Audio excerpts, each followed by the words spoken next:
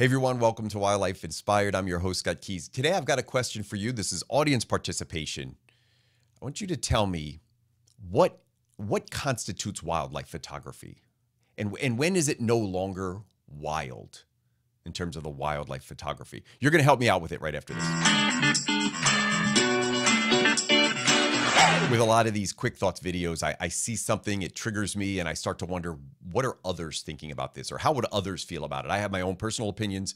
What does everybody else think? And I saw an image, and I'll show it to you later on social media, and somebody was was uh, I think they were like selling a workshop, and I saw this, and I thought, boy, that that doesn't even it doesn't feel like wildlife photography anymore. And I put a poll out, and I said, in this image, I'll show you later.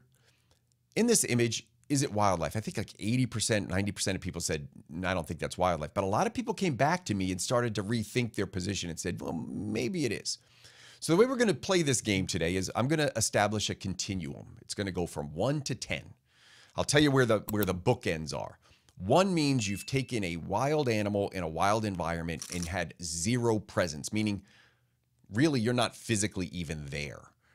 So there's no disruption to the environment. It's it's truly no footprints left behind. You you haven't touched a thing to do it.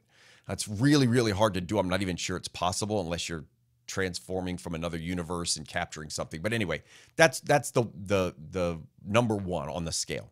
Number 10 on this scale is going to be artificial intelligence. If anybody tells me that artificial intelligence is wildlife photography, we got big problems. But those are the bookends. So those are the real parameters. I think everything else is going to be a little gray.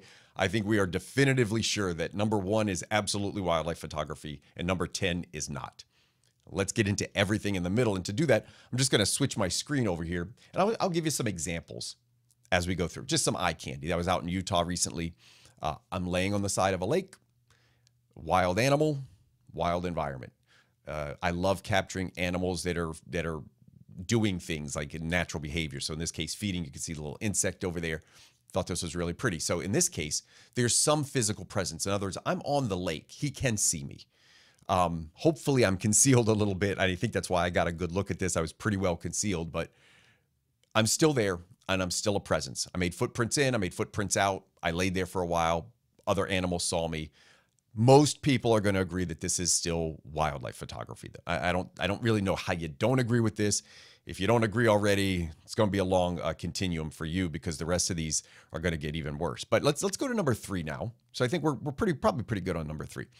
Number number three. This is a staged environment, wild animal, wild environment. It's I'm out in the woods, but in this case, I've manipulated the physical environment a little bit. I've done did this a while ago. I don't have a whole lot of images like this anymore uh, because I really don't do these this staging and a lot of grooming in the areas. I like to just kind of occur, allow them to occur naturally. Um, but in this case, there's a lot of these sticks on the ground with pine cones. Set up a bunch of them with a friend. Let's see what happens. I got a really cool image out of it. Now, I didn't manipulate the bird at all. So let's just, for the sake of argument, this bird is unmanipulated. It is just doing wild stuff the only thing I manipulated was a little bit of the wild physical environment. Is this still wildlife photography? I'm still a yes, by the way. I'm going to get gray in a little bit and, and, figure out what you guys need to know down in the comments. Are you still with me? Let's go to number four. Number four, completely wild environment. Everything is wild. The bird is, is wild. The environment is wild. Is it wildlife photography if that bird was drawn in. Is it wildlife photography if I shoot mammals and I use a scent trail? I'm not going to get into I don't I hate to use the word baiting because as soon as you say baiting, people go crazy. This is not an ethics discussion. You got to put your ethics aside and just decide is it wildlife photography? Is it still photography? So, in this case, uh, in, during fall migrations, I will occasionally use these sounds. Uh, I wouldn't really call it callback because I don't know what's there. These are just migrating birds. Anything random could be coming through. But I will use sounds as a way to try to attract them. So, not call back in a way that I'm trying to elicit a specific response from a specific bird. Uh, and, in, and for bird photographers, callback is the use of, of bird songs to bring birds to you, um, but just kind of random generic stuff. Now, that's used here. I, I don't want to give away all my trade secrets, but but I use that here. And I do that to just kind of draw this bird in a little closer, maybe be a little bit more curious. You can see totally relaxed, wings are down. I feel really good ethically about this image and, and all of the images that I post of songbirds. But is it still wildlife photography? Because now I've I've introduced a little bit of manipulation. You know, the first time I was manipulating the environment, that staging. This time I'm I'm actually manipulating the behavior just a little bit. Is it still wildlife photography? I think this is a good one. I think I, I think I may actually lose a couple people here. I think most people are still going to be with me. All right, here's number number 5. Now I've got a staged area. So not just out in the wild manipulating it. And the best example for this, think of backyard bird feeders. The birds are still wild, right? These aren't tame, they're not captive, they're not in cages. We're not releasing them for the photo. Wild bird can come and go as it pleases. It, this these catbirds nest around my property. But I wanted to have fun. I took a bunch of native plants from around my property and I made a little setup in the background and and this is what I got out of it. Now, the bird is wild. The environment is starting to get a little not wild, much more staged. Um, maybe consider this environment domestic, right? It's really not wild anymore. Uh, these cat, there's no way these this plant cluster would occur in the in the uh, wild environment. This catbird probably wouldn't be hanging out in plants like this. So it's really kind of staged. Uh, are, are you with me? Are you with me on this one? This is number five. So we're going to call this wild animal staged environment, maybe even domestic staged environment. Are you still with me? Let's get to number six. Well, this looks pretty wild, Scott. This is a picture I took a long time ago. Uh, these foxes were being hand fed. Now, I'm going to categorize this fox as habituated. Is a, I want to distinguish. We've done wild. We're getting out of the wild. We, we are no longer dealing with animals that I would consider completely wild. This fox is technically wild. It lives in the it, it, in lives in the wild. Doesn't it's not domesticated, I will call this habituated, meaning people were feeding these foxes. And this is, I took this years ago. Gosh, this is almost 10 years ago. Um, and what it meant is that fox was very comfortable around people. People were hand feeding them and they would basically just walk up to you looking for meals. And so, um, because of that, there was no fear on the part of this fox about me being there or anyone else. So, Fox came over to get a drink of water, a wild fox probably isn't going to let you lay down, you know, 10, 20 feet away and start taking pictures, but this one did. So, habituated animal, wild environment. This is number six on the scale. Number six. Number seven. This, by the way, I did not put the person's name on here because I didn't want to uh, call them out publicly. I, I don't know that there's anything unethical about this. I didn't want them to think that was the point of it from a copyright standpoint, this is public domain. I grabbed it out of public domain. If you want credit for this, please reach out and contact me. I will happily credit you for this image uh, down below. This image is the one I put the poll question out. And he, here's where it gets really tricky. When I saw this, I thought, this isn't wildlife photography anymore. So, number seven, we're going to call these habituated animals. Okay. These hummingbirds are I mean, I mean, they're coming to the feeder every day. They're programmed. They're probably not even feeding on wild food anymore. I don't know.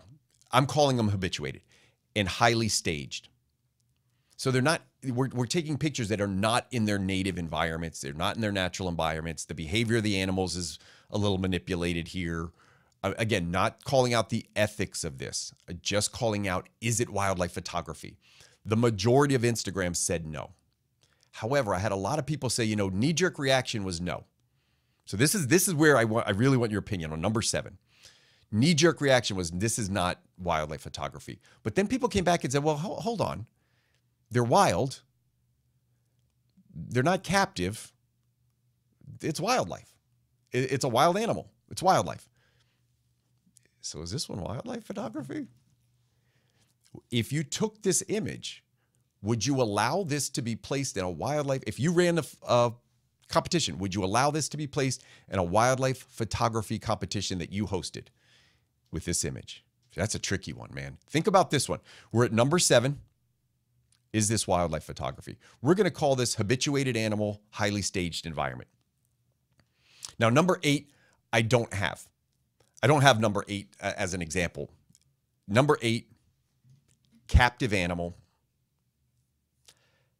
captive animal, wild environment. This is a tough one to conceptualize, but here's what I mean by captive animal um, game farm in a natural setting. So I own 50 acres, but I'm going to open the cages and let them out. Now, if you guys know me, number seven's a tricky one for me. Number eight for me is a hard no. If they're captive animals, I did a video on captive life photography. If it's captive, if it's domesticated, to me, it's a pet. It doesn't count. It's not wildlife photography anymore. I have had people argue that wildlife, as long as it's not a domestic animal, a dog, a cat, a sheep, a cow, if this creature was in the wild, in its natural environments, if it's captive and we photograph it, it's still wildlife. Again, I you see my my opinion here. What's your opinion on number eight? Number eight, captive animal. We're going to call it wild environment because they're allowed to roam out and, and do what they do. But it is going to, at the end of the day, it's coming back to its cage. All right. Or it's enclosed in, in acreages. And then let's get to number nine. Number nine, not much different than a zoo. So I'm just going to call it zoo photography.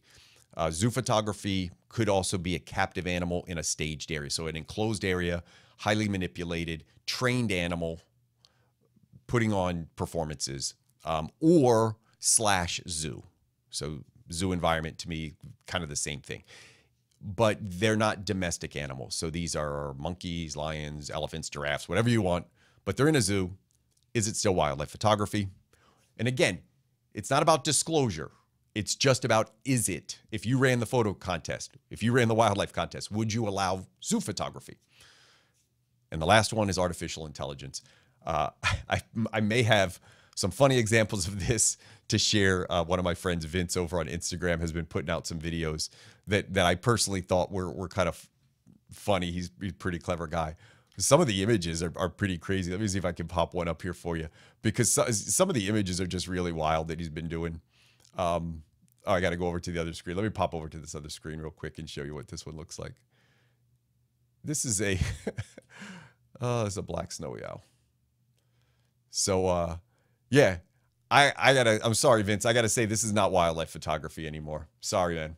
That's I got a video coming up on it. Artificial intelligence. A lot of people talking about it. Um, it's scary. It's scary. It's scary, and and not just photography. It's just scary how far it's come in its infancy. How far it's come over the last five years. Uh, we'll get to that another day. For this video, down in the comments, gotta let you know that scale one to seven. I'll refresh it over here on the side so you could see what what the categories were. Where was your line? Where did you say nope? I, I'm good up to six. I'm good up to seven. Maybe you stopped at three. I don't know. Let me know down in the comments. As always, I appreciate your support on these quick thought videos. I hope you continue to enjoy them. Uh, and let's continue to have inspiration in wildlife together.